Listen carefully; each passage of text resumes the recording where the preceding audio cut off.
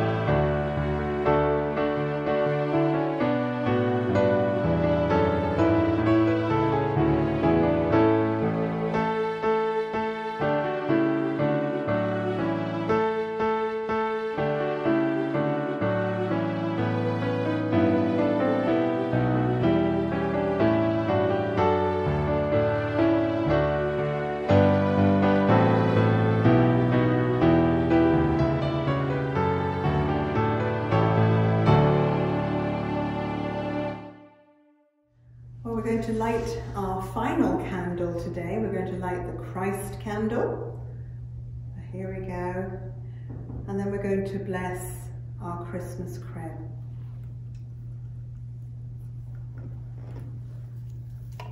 Here's the baby Jesus. He's looking like a bonny lad already, isn't he? Put him in his bed. And we say this Do I not fill heaven and earth, says the Lord? Now the word is made flesh and laid in a narrow manger. From eternity to eternity, you are God, and now we see you as a newborn child. God our Father, on this night, your Son Jesus Christ was born of the Virgin Mary for us and for our salvation. We ask you now, Lord, to bless this crib, which we have prepared to celebrate that holy birth. May all who see it be strengthened in faith and receive the fullness of life he came to bring, who is alive and reigns forever. Amen.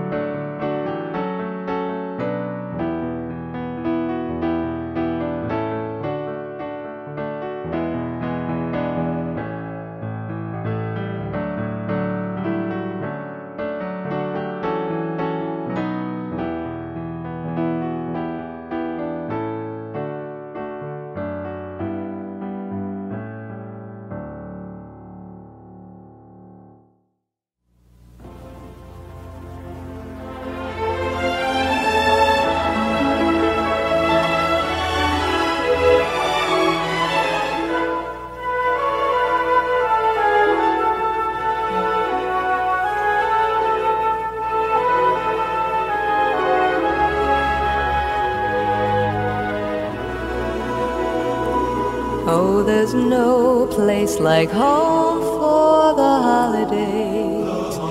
For no matter how far away you roam, when you long for the sunshine of a friendly gaze, for the holidays you can't beat home, sweet home. and they lived happily ever after. The end. Okay, good night, girls. But Mama, wait. Why? What's up, Lucy? That story made me scared. Oh, why are you scared? Of monsters. Monsters? Virus. There. Dark. Uh. Spiders. There. Oh boy. That's okay. Sometimes I'm scared too. Uh, how do we get unscared? Well, stories help. I like to remember that I'm a part of God's story and it's much, much bigger than me. And His story is full of people who are scared of things sometimes. I think we have time for one more story. This is a story that took place a long time ago when lots of people were scared about a lot of things. It's a story that happens in Nazareth to a girl named Mary.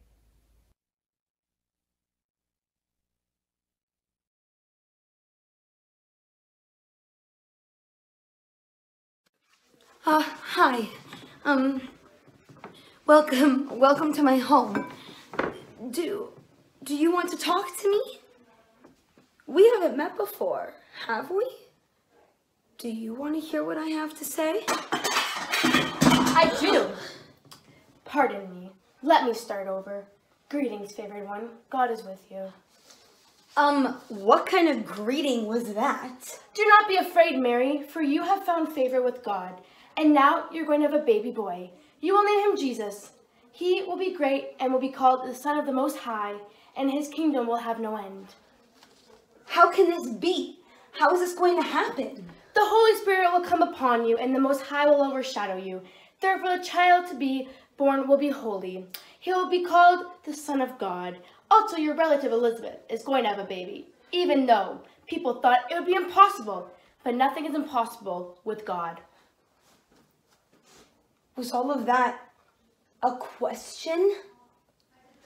Oh, hmm? Well, are you asking me if I want to do this? Good question. Uh, yes.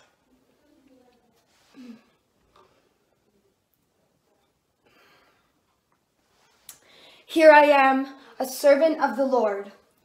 Let it be with me according to this message. I need to tell Elizabeth.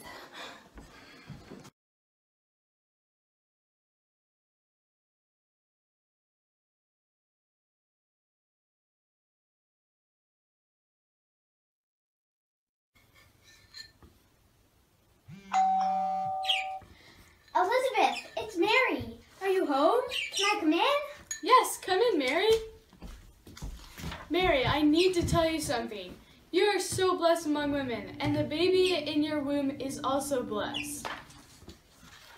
The moment the sound of your greeting entered my ears, the baby in my womb leaped with joy. Here, feel.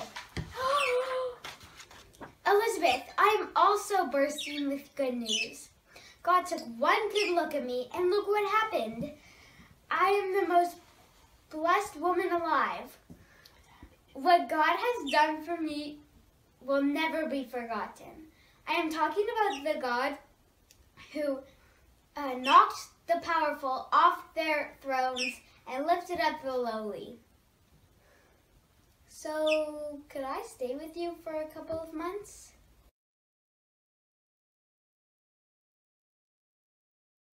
Green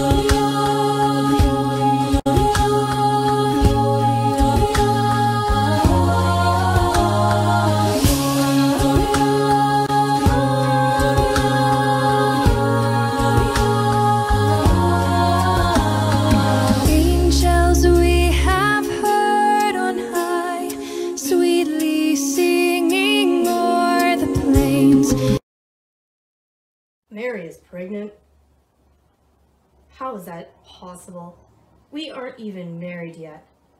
And the law says that is not good. Not good at all.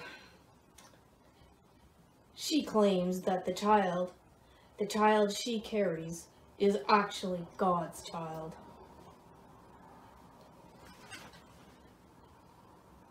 My only option is to marry her and then divorce. Divorce her quietly. That will save my reputation at least. Oh, but she, she will be disgraced. I don't know what to do, and I'm afraid. Oh, Mary.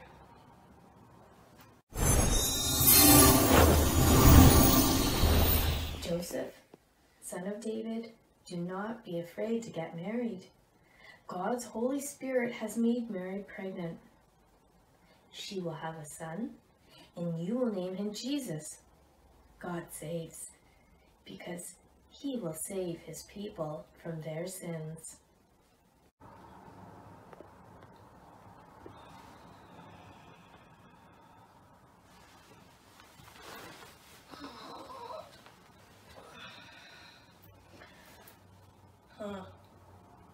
I'm going to marry Mary.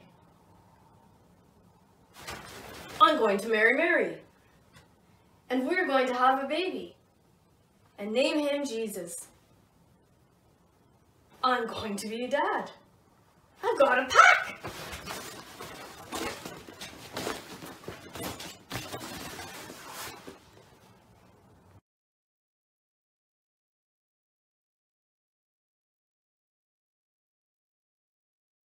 Hold on, I have questions. Was Joseph packing a bag?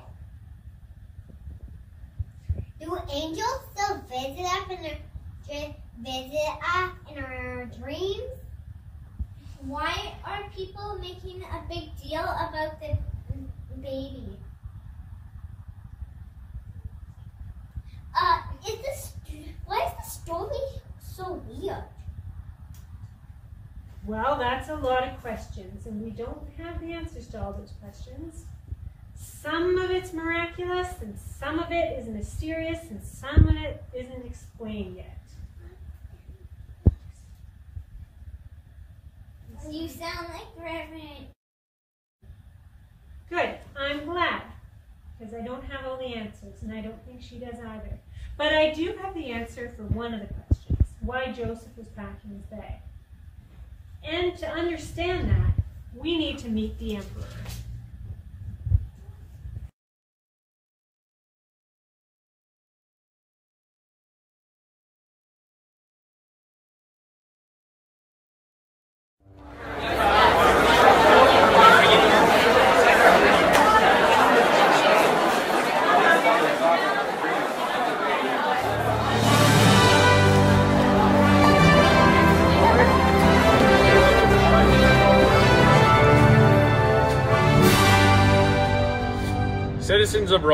It is I, your Lord and Savior, Good Shepherd, Light, Way, and Prince of Peace, Caesar, Caesar Augustus. First, I want to say you're welcome for all the great things I've done for you. There has never been an emperor as powerful and glorious as me. My empire is vast. You people are obedient. I am saving you all. All of you. You owe me so much, so much. Citizens, I want to count you. Yes, let's get a good head count so you can all pay me what I am owed. Go to your hometown and register your family so you can show proper appreciation of my awesomeness. I decree it to be so. Farewell, my faithful children. May you know my magnificent ways. Farewell.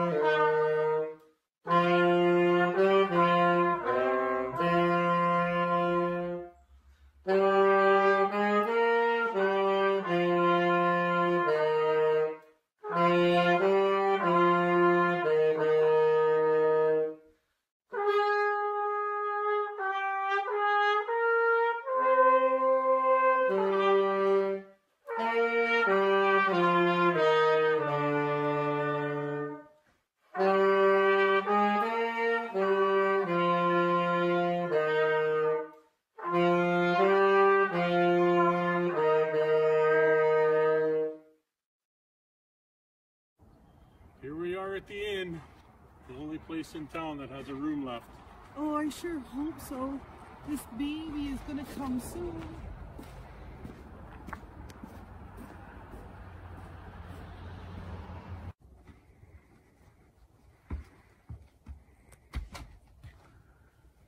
Well, I got some good news and some bad news. Oh, what's the good news? We got a room. And the bad news? It's not in the main part of the lodge. Oh, will it be warm and dry? It will be. Follow me. Okay. Oh dear. Is this where we're? Yes, it is. It's going to be warm and dry, and Okay. the price is right. Bah. Hey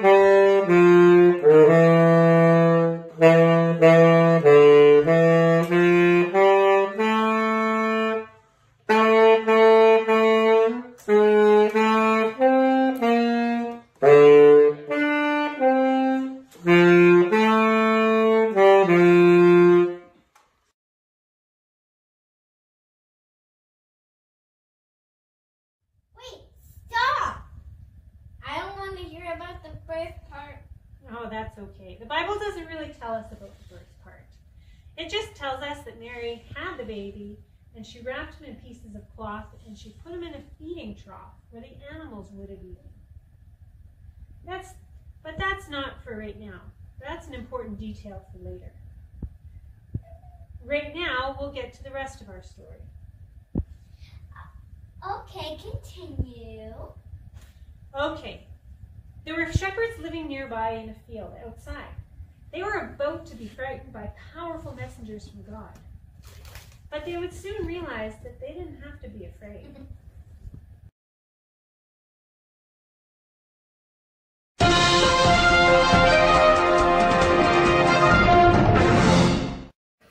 Glory to God in the highest.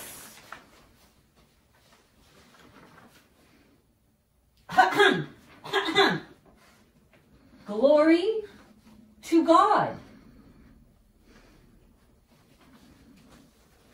Glory to God.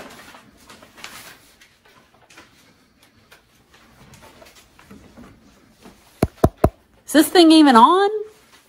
Am I on mute? Are you people even listening?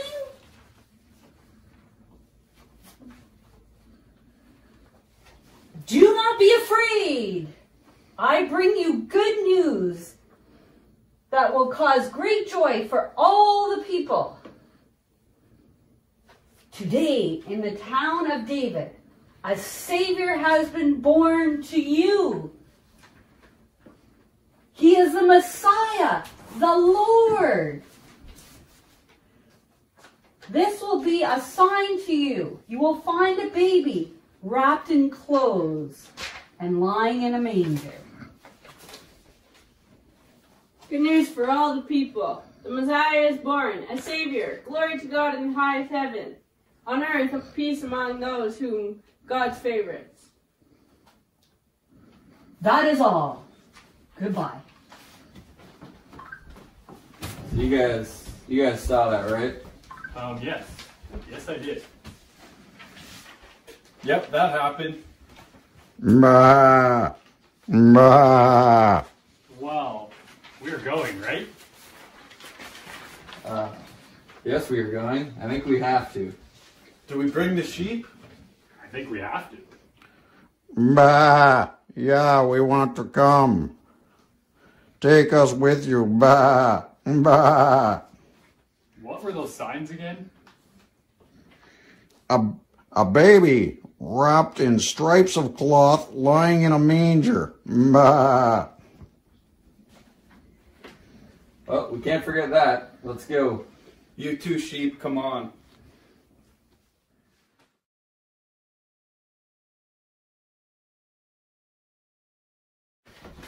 That was a miracle. It was exactly how the angel described. The baby was wrapped in cloth lying in a manger. Friends, I don't know about you, but I feel like we witnessed something amazing tonight. Feels like the world is changing. Yeah, but why do you think we got to see it? Nobody cares about us, shepherds. We're poor, and we don't have very much power. I have no idea, but the baby's mother, Mary, acted like this was exactly what was supposed to happen. Like this was meant for people like us. Maybe this baby will lift up the lowly. And bring down the lofty. Wouldn't that be something? I'm sure it would. I believe there is no limit to what this baby can do. Hey, shepherds, was that star there last night? I don't think I've ever seen that one before.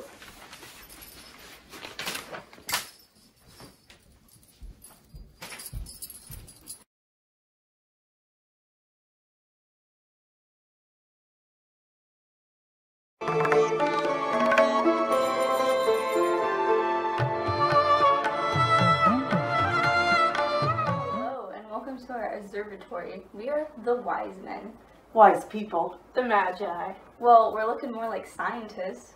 We study the stars. We study them so well that when something changes, we notice immediately. And we saw a new star in the sky, and we gotta go figure out what it is. And now we begin our journey.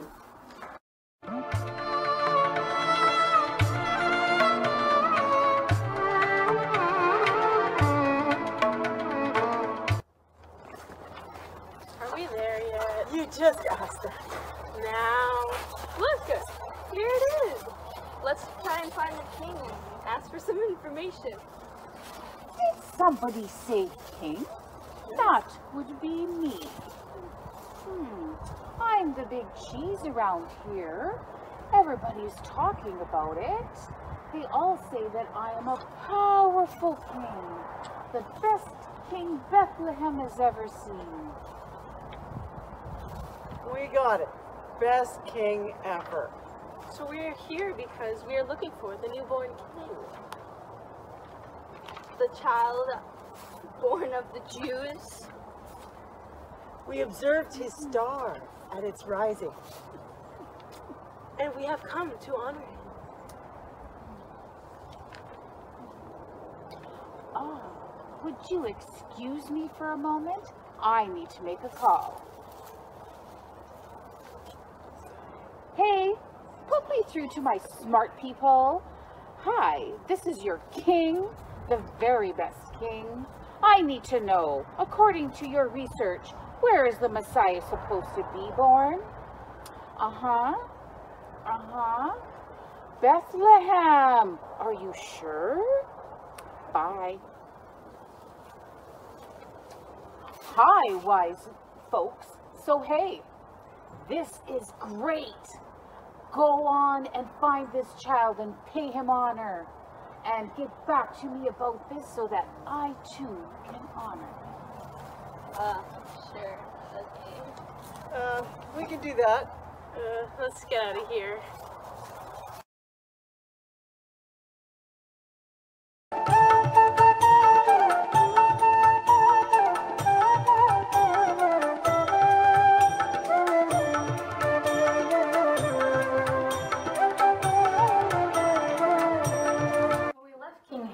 Decided to sit around and be jealous and plan his revenge. He felt very threatened that there was a new leader that people were excited to meet. But we found Jesus and brought gifts to this special child. We brought gold, Frankincense. Myrrh. Usually these gifts are for royalty. Powerful people. Grown men. We brought these gifts to a tiny, weak, oppressed child. Even though we didn't know exactly what was going on, we knew he was important. This good news would turn everything upside down. Oh, and by the way, we didn't return to that wicked King Herod. Nope, no way. We were warned in a dream to take a different way home. You might say we took the scenic route. And now we return watching the stars.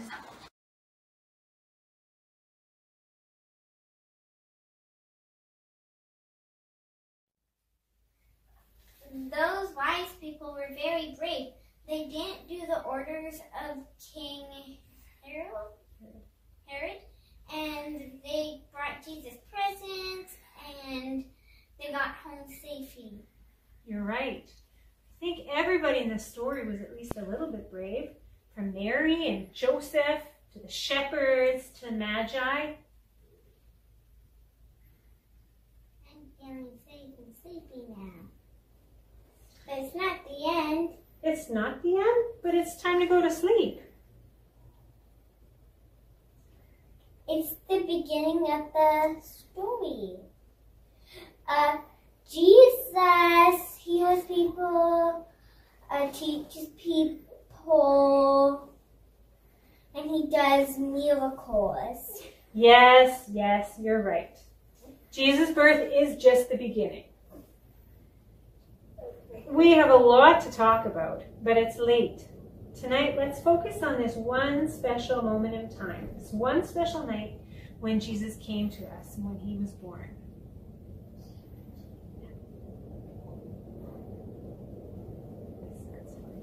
This is a good story.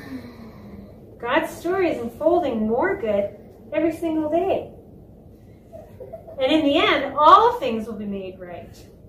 That doesn't mean we won't be afraid sometimes.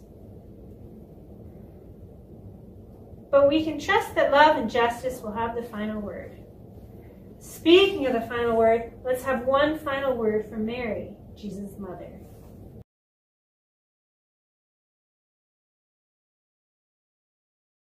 My soul magnifies the Lord, and my spirit rejoices in God my Savior. For you, God, have looked with favor on the lowness of your servant.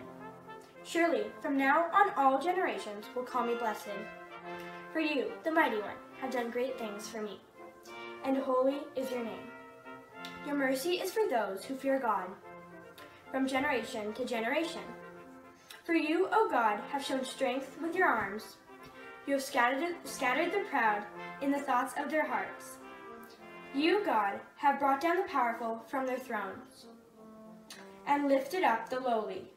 You filled the hungry with good things and sent the rich away empty. You have helped your servant Israel in remembrance of your mercy, according to the promise you made to our ancestors, to Abraham and Sarah and their descendants forever. The end.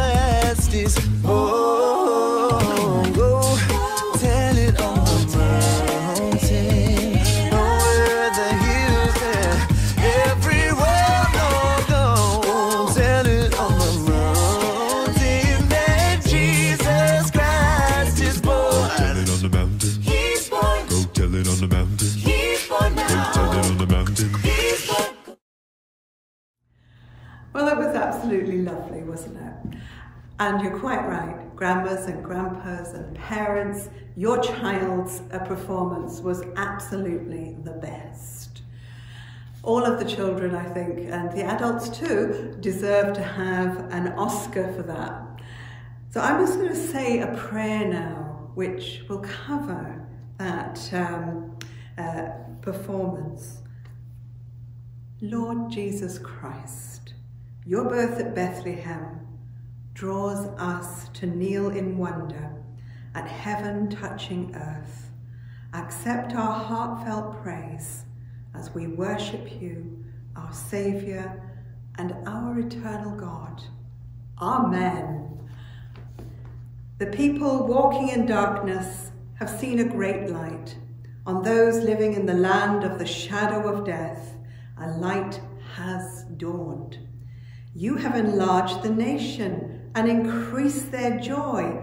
They rejoice before you as people rejoice at the harvest, as men rejoice when dividing the plunder. For as in the day of Midian's defeat, You have shattered the yoke that burdens them, the bar across their shoulders, the rod of their oppressor, every warrior's boot used in battle, and every garment rolled in blood will be destined for burning, will be fuel for the fire.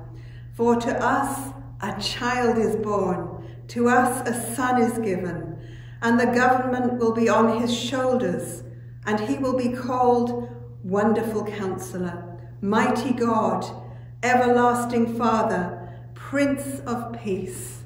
Of the increase of his government and peace there will be no end. He will reign on David's throne and over his kingdom, establishing and upholding it with justice and righteousness from that time on and forever. The zeal of the Lord Almighty will accomplish this. This is the word of the Lord. Thanks be to God.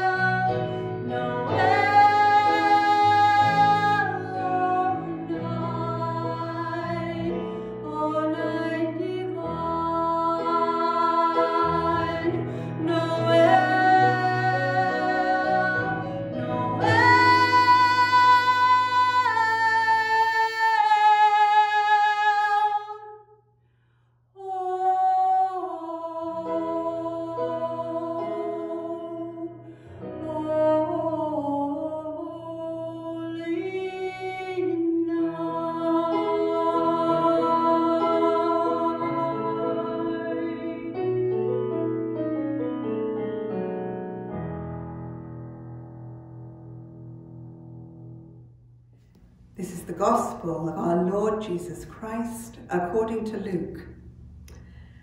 The birth of Jesus. In those days, Caesar Augustus issued a decree that a census should be taken of the entire Roman world. This was the first census that took place while Quirinius was governor of Syria, and everyone went to his own town to register. So Joseph also went up from the town of Nazareth in Galilee to Judea to Bethlehem, the town of David, because he belonged to the house and line of David. He went there to register with Mary, who was pledged to be married to him and was expecting a child. While they were there, the time came for the baby to be born, and she gave birth to her firstborn, a son. She wrapped him in cloths and placed him in a manger because there was no room for them in the inn. And there were shepherds living out in the fields nearby, keeping watch over their flocks at night. An angel of the Lord appeared to them, and the glory of the Lord shone around them, and they were terrified. But the angel said to them, Do not be afraid. I bring you good news of great joy that will be for all people. Today, in the town of David, a Saviour has been born to you. He is Christ the Lord. This will be a sign to you. You will find a baby wrapped in cloths and lying in a manger. Suddenly, a great company of the heavenly host appeared with the angel, praising God and saying, Glory to God in the highest, and on earth peace to men on whom his favour rests. When the angels had left them and gone into heaven, the shepherds said to one another, Let's go to Bethlehem and see this thing that has happened, which the Lord has told us about. So they hurried off and found Mary and Joseph and the baby who was lying in the manger. When they'd seen him, they spread the word concerning what had been told them about this child, and all who heard it were amazed at what the shepherds said to them. But Mary treasured up all these things and pondered them in her heart. The shepherds returned, glorifying and praising God for all the things they had heard and seen, which they were just as they had been told. This is the gospel of Christ.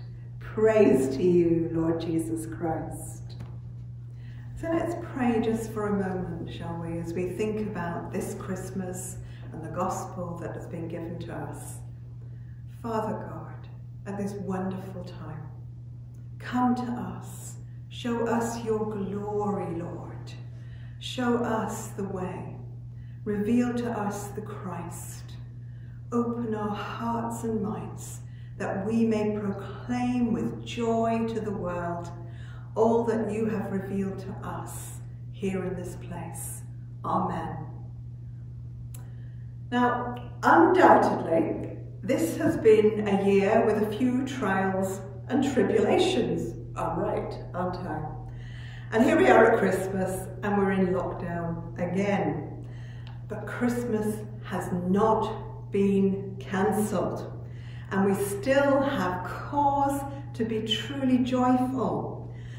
God's great plan for the world is still unwrapping all around us. And just as the shepherds proclaimed the birth of the Christ child with joy, so too are we called to proclaim the good news in all the world. Now, at the first Christmas, there was undoubtedly joy at the safe delivery of Mary with her firstborn, Jesus. But neither she nor Joseph were probably overcome with conventional happiness at the situation in which they found themselves. In the same way, even though our physical circumstances are less than ideal at the moment, we too can experience, nevertheless, God's joy, his promise to come into the world. Joy is something actually a lot deeper than happiness. Happiness is an emotion, and an, an emotion that can be taken away just like that, just disappear from us. Whereas for a Christian, joy is a deep inner conviction and knowledge that God does love us and will never leave us no matter what we have to face. Mary and Joseph were ordered as part of Caesar Augustus's uh, plan to conduct a census to travel to the place where Joseph's family originated from. In this case, it was Bethlehem, because David, uh, Joseph was part of the house of David. Caesar Augustus wanted to raise new revenue. Where have we heard that one before? He wanted to tax his people, so he had to bring them all to the right place and count them up so that he knew how much he could be charging all these people with, uh, once he had an accurate population count. And he didn't care. He didn't care how heavy the tax burden was going to be on the people. He didn't care that this method of registration caused great disruption in the lives of his subjects. He didn't care that by forcing people to return to their hometown to be registered, he was making people go on long journeys and possibly uprooting their families and abandoning their livelihoods. That's not very good fiscal policy in my opinion, but there we are. I can't change that. He didn't care if people were sick and he didn't care if people were old. He just didn't care. He just wanted his money. And if they dared to object, then he had a huge and very efficient army to deal with them. So Mary and Joseph submitted. Very sensible, I think. But it was a long journey, at least 80 miles, and probably on foot. Because although we hear about donkeys in nativity plays and things like that, it's not mentioned actually in the gospel whether there was a donkey. And they were very poor. So quite possibly, poor Mary had to walk the whole 80 miles heavily pregnant. It's no wonder she went into labour as soon as she got to Bethlehem. Now I'm beginning to feel better already about my situation, I don't know about you, because all we've been asked to do is sit on our sofas and be safe. We've not been asked to walk 80 miles, whatever our condition. So no wonder things were a bit grim as they arrived in Bethlehem. And of course, they couldn't book a hotel room online, not like you can today. And on top of all that, there were no vacancies. So they were in a tough place, weren't they? Joseph must have been at his wits' end, trying to care for his young wife, Mary, and not knowing what to do next. Uh, maybe he even felt angry with God for this. Uh, but, and maybe that's what we feel too sometimes, angry with God for the situations that we find ourselves in. When we wonder whether God has been listening to us times when it's hard to remember that God always loves us. He really does. And that He is still in control. But you know, God was in control then. And He is still in control now, in control of our lives and of our world. He had His reasons for having His son born in that lonely and dirty stable.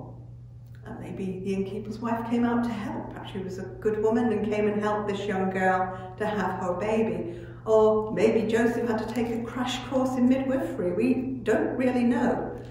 But it would have been a worrying time nevertheless.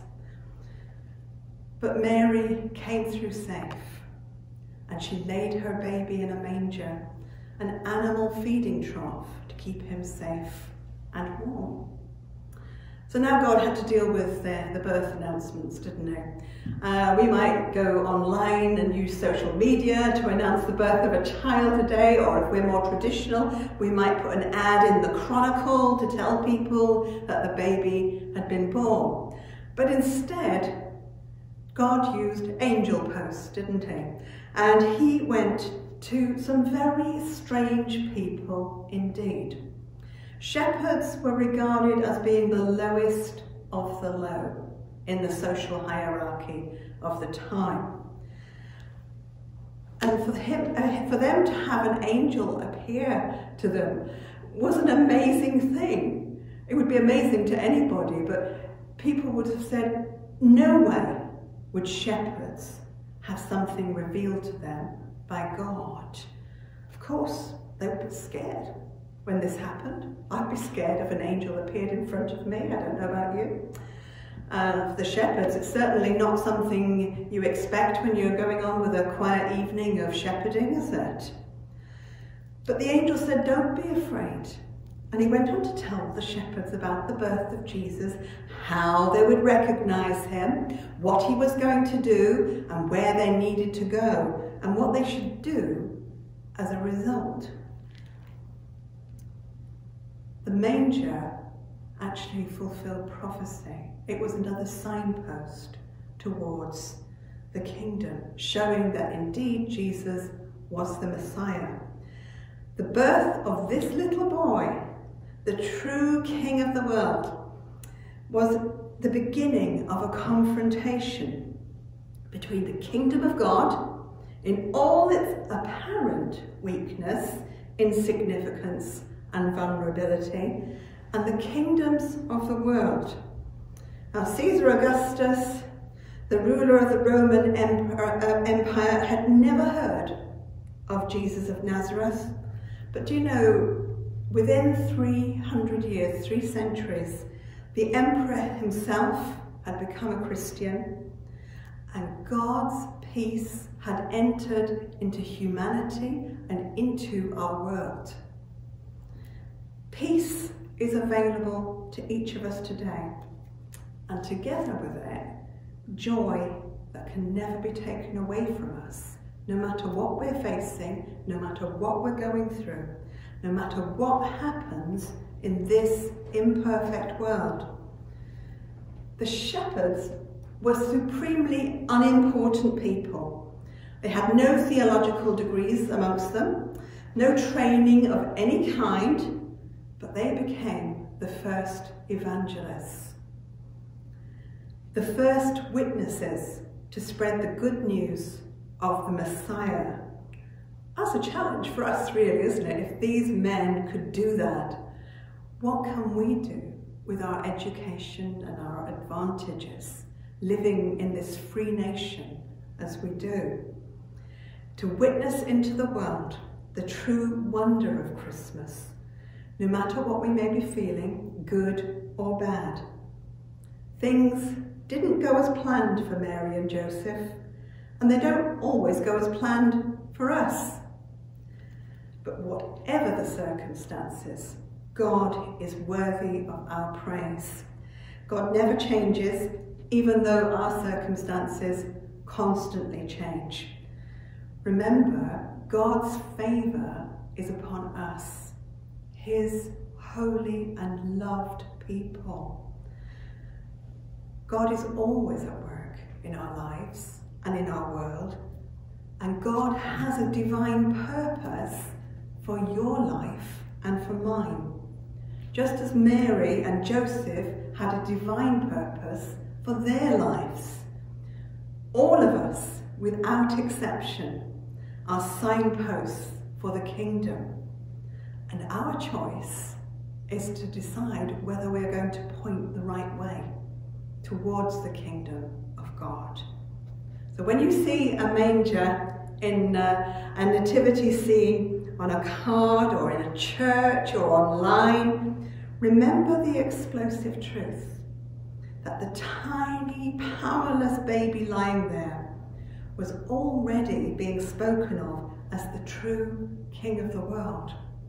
He was and always has been destined to be King of your life and of mine. Amen. Now we've heard God's word, we've seen our pageant, we've seen the baby Jesus lying in the manger. Let's compose our thoughts now as we come before God in prayer and we pray for ourselves and we pray for our world today. We come before you, Christmas child, in silent amazement. May we welcome you among us, child of Bethlehem, even in, or perhaps especially, in these difficult times we face. We pray for those who are feeling lonely at this time and isolated, for those who don't understand why, and maybe for those who have no place to stay, just as the Christ child had no place to stay.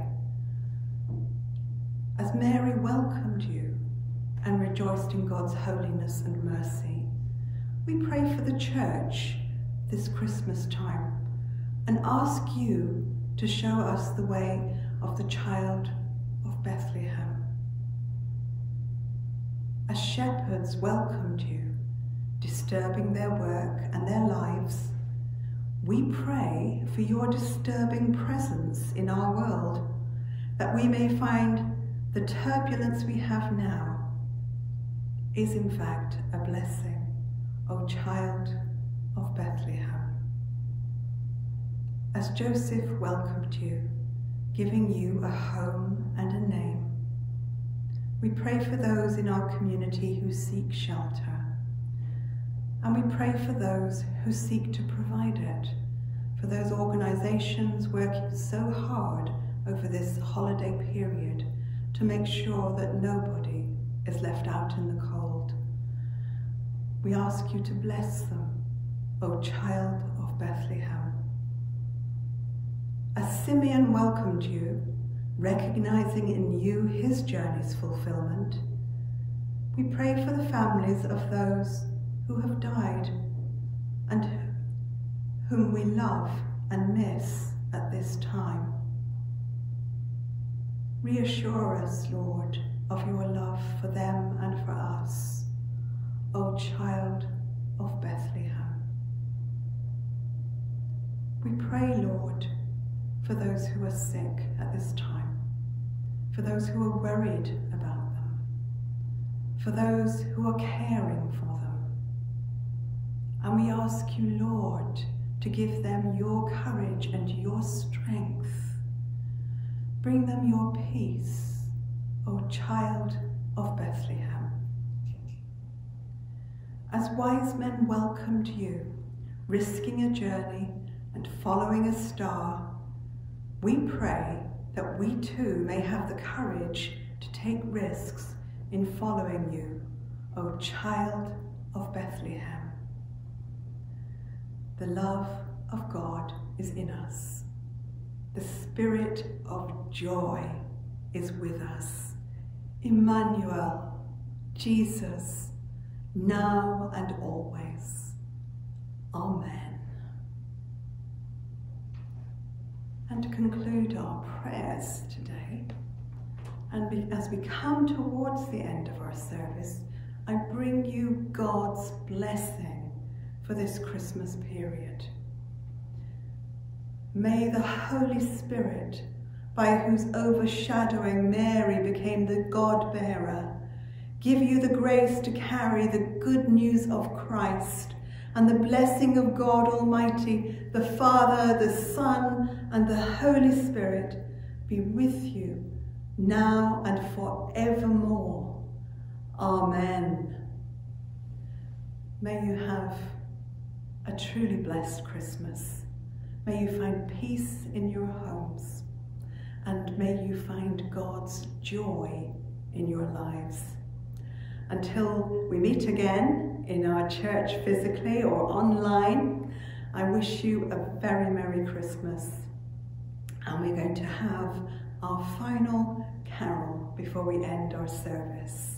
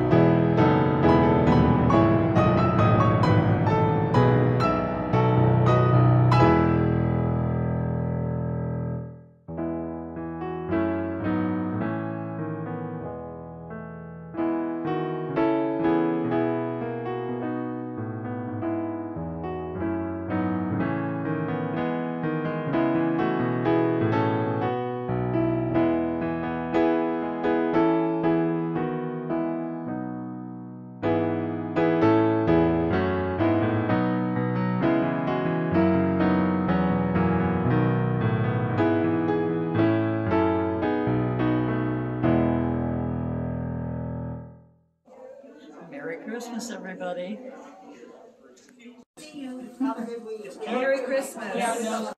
Merry Christmas. Merry Christmas for my husband Don and I. Hi, everyone. I miss you all, but I want to wish you the happiest and most Merry Christmas. Blessings in 2021. No? Yeah. Merry Christmas to you. Say it again, Mom. Merry Christmas, everybody. Okay. Merry Christmas, everybody. Okay, Merry Christmas, everyone. Merry Christmas! Merry Christmas, everyone.